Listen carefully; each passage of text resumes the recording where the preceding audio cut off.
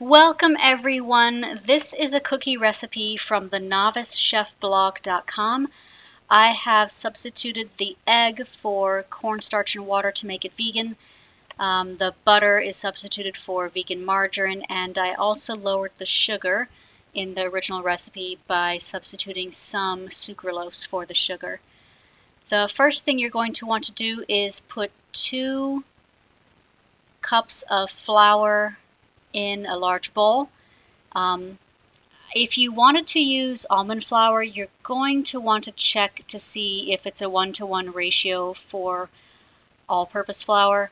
I used whole wheat flour for um, a little bit healthier glycemic index. And then we're going to add a half teaspoon of baking powder, one quarter teaspoon of salt, and we're going to mix those dry ingredients together and then set them aside.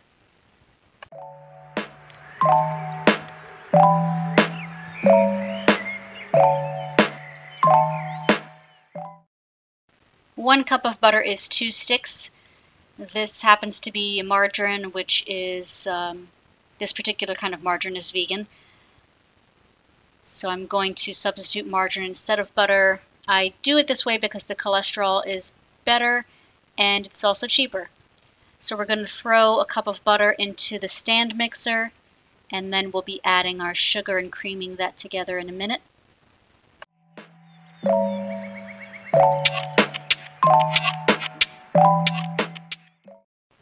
If you're going for full sugar, you'll be doing 3 fourths cup of white sugar. Um, in my substitution, I'm going to be doing 2 fourths cup of sucralose, which is Splenda or the cheapest sugar substitute there is really. And then one fourth cup of real sugar or white sugar or refined sugar, whatever you want to call it. If you hear me call something real or fake in my recipes, it just means it's not the version you're typically used to um, seeing in a recipe.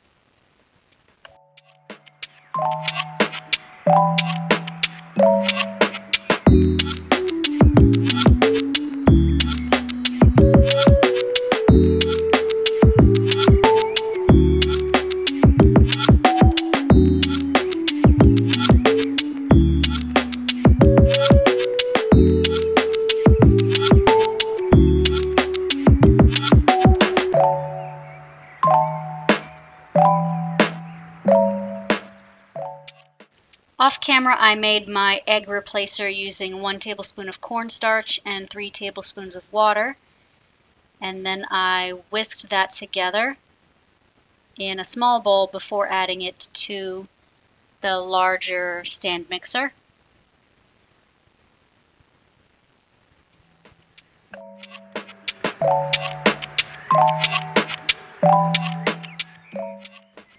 I'm not sure about other vegan egg replacers, but cornstarch and water has basically no flavor, and I've found in a majority of the recipes I've used it for for baking, it uh, actually even um, to make my black bean burgers, it does not change the outcome of the recipe if you use that as a substitute instead of eggs. So please like, share, and subscribe if you're enjoying this recipe so far. It really helps us out. Then we're going to be adding two teaspoons of almond extract. And the entire reason I looked up uh, this recipe in the first place was because my husband bought this almond extract a while back and he no longer uses it for anything. So I had to get rid of it.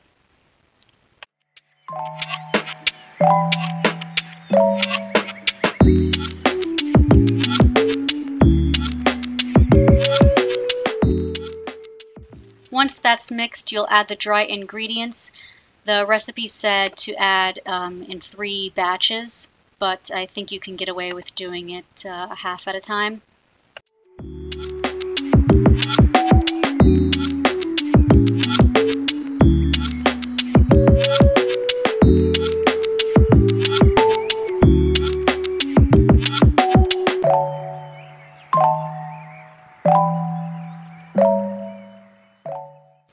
So I'm making this recipe because I had extra almond extract to use up and I'm curious what is the most unusual thing or your favorite thing that you've made using something that you had to use up.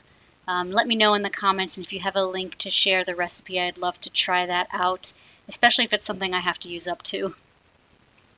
I don't like to waste ingredients so I typically always find some way to use it up or I'll give it to somebody else. Um, a lot of those online free giveaway groups, like on Facebook, um, Buy Nothing or Freebox, I've seen that term used on both. They don't care if it's open. I would I would take open food, and I've had no trouble giving away open food too. So try that if you've got stuff that you can't actually use up in a recipe that you need to get rid of. It's definitely better than throwing it out or even composting it.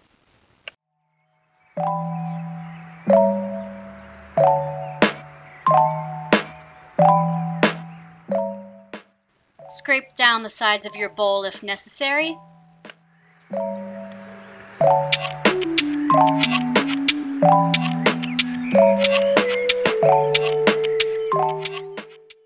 The recipe says to roll one tablespoon of dough into a ball, but that seems a little small.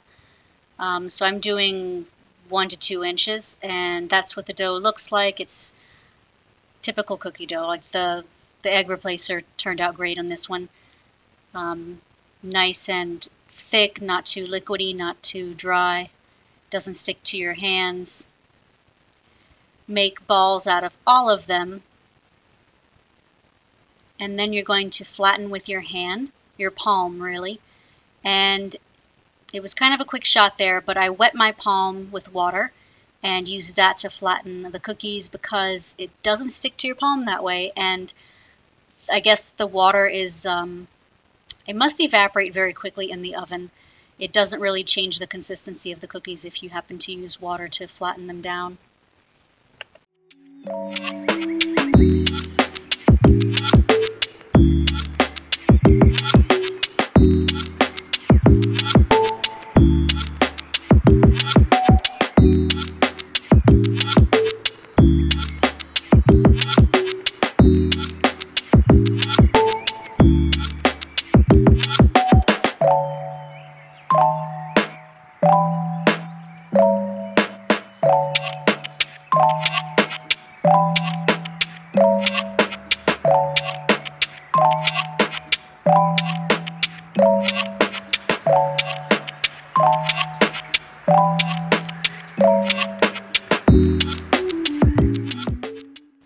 Recipe says to bake them for 8 minutes at 375 degrees. And in the meantime, we're going to make our powdered sugar icing. Um, you can totally stop at this point and just eat the cookies without the icing. It, they taste fine without it. They're very soft. Um, but I'm going to do half the icing recipe. It should be one full cup of white sugar or powdered sugar, really. Um, but I'm going to do half, and so I'm doing a quarter cup of sucralose and a quarter cup of refined white sugar.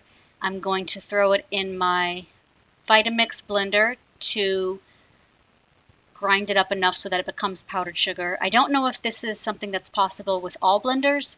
I think any high-powered blender could turn refined sugar into powdered sugar. I no longer keep powdered sugar in the house um, because it's so easy just to make whatever quantity I need when I need it using the blender. And so I'm going to be doing essentially half a cup of powdered sugar and mixing that. And I tried to show you what it looked like, but the powdered sugar didn't want to move. It was like stuck in place or something. It was, it must have been densely packed. That's probably what it was. So I'm here, I'm trying to like struggle with it. Then put the powdered sugar in a bowl and you're going to add, it says two tablespoons of milk or water and one teaspoon of almond extract. I would recommend not doing milk even if you're not worried about the vegan uh, aspect of this or if you're using vegan milk because if you do you'll have to store these in the refrigerator and that just seems like unnecessary to me. Cookies can be stored in the pantry or on the counter in a cookie jar, so just do it that way. Um, so I went ahead and put two tablespoons of water and one teaspoon of almond extract. And then as I was whisking it at this point, I thought to myself, oh no, I used half the quantity of sugar to, as the recipe called for. I should have used half the quantity of liquid as well because it was too thin.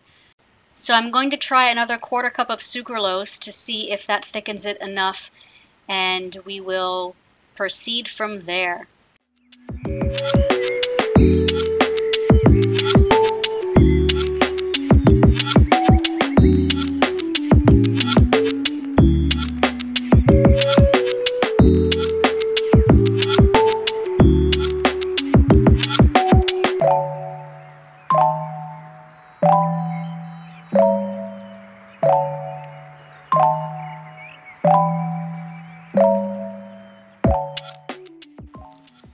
So tasting the icing now, and it wasn't that great. Usually when there's, eh, I think whenever you bake sucralose, it's not as bad as when you taste it raw. The it was more sucralose than I needed. So I did half sucralose, half sugar, another quarter cup of sugar. Whisk, whisk, whisk. Whisk, whisk, whisk. Whisk your icing. Whisk your icing.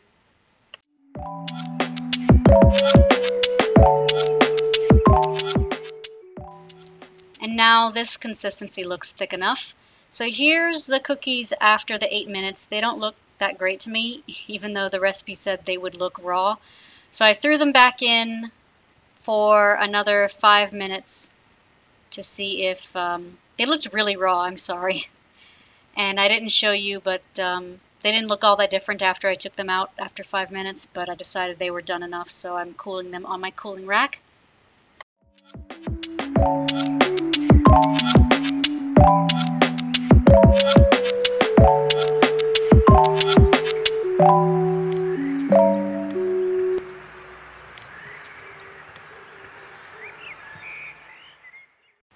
So I let them cool completely before adding the icing, otherwise the icing will like get absorbed directly into the middle of the cookie and it won't stay on the top.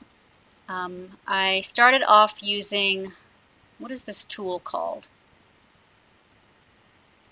Silicone brush. Yep, that thing. For like barbecue sauce and whatever. I typically use it for not barbecue related tasks. And um, the icing wasn't quite as opaque as the photos on the blog show. Um, so I started dunking the cookies like directly into the icing. Um, the reason I wanted to do a half batch of icing was because usually on in any recipe I look up, the icing is ridiculously like way more than I ever need.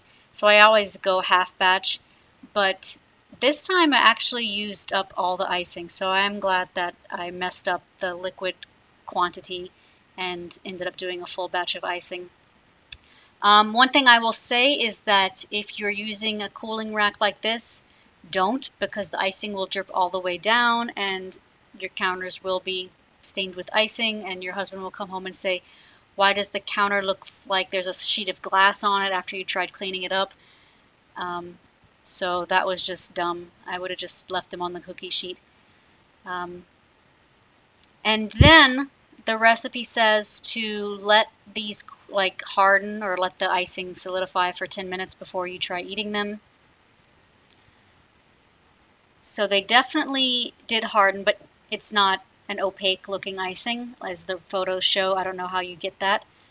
The cookies are soft, they're sweet, they're the right texture, and I really love this recipe. If you guys want to see more, like, share, and subscribe, and I'll see you soon. Happy eating!